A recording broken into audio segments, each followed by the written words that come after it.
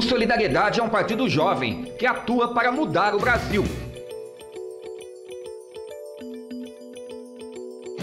Com apenas quatro anos de história, desenvolve um trabalho inovador, com políticas públicas voltadas para todos os segmentos da população. O Solidariedade age com especial atenção e em sintonia com os movimentos sociais, atuando na defesa dos direitos dos trabalhadores e aposentados o diferencial do Solidariedade são as secretarias de movimento, que fazem emergir suas emendas e criam mecanismos para que sejam elaboradas propostas e planos. Uma prioridade do Solidariedade é a qualificação de quadros. Através do trabalho da Fundação 1 de Maio, busca identificar lideranças em todo o país Solidariedade está presente nos debates dos grandes temas do país, tendo papel importante no processo de impeachment de Dilma. E mais recentemente nas discussões sobre as reformas da Previdência Social e Trabalhista. Então, o nosso partido tem um papel muito grande, muito importante nesse, nesse momento da, da tirada, da queda do PT do poder nós vamos gritar bem alto. Não aceitamos tirar direito de aposentado e nem de trabalhadores. Nós queremos sim conquistar mais direito. Então nós defendemos sim uma reforma, uma reforma justa para acabar os privilégios daqueles que roubam muito dinheiro da Previdência Social. A bancada do Solidariedade na Câmara dos Deputados é composta por 14 parlamentares de todas as regiões do país. Nossos deputados se caracterizam pela capacidade de identificar as demandas populares, dialogar com esferas de poder, propor soluções e criar projetos de lei que atendam essas demandas.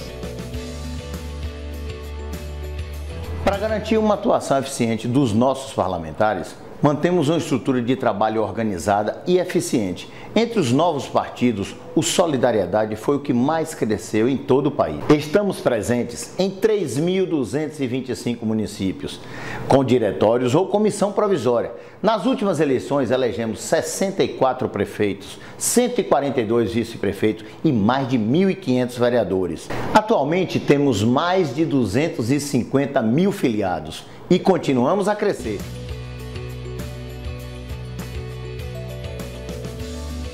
O crescimento do Solidariedade teve a participação efetiva da Fundação 1 de Maio, que levou seus cursos, treinamentos e workshops para todo o país.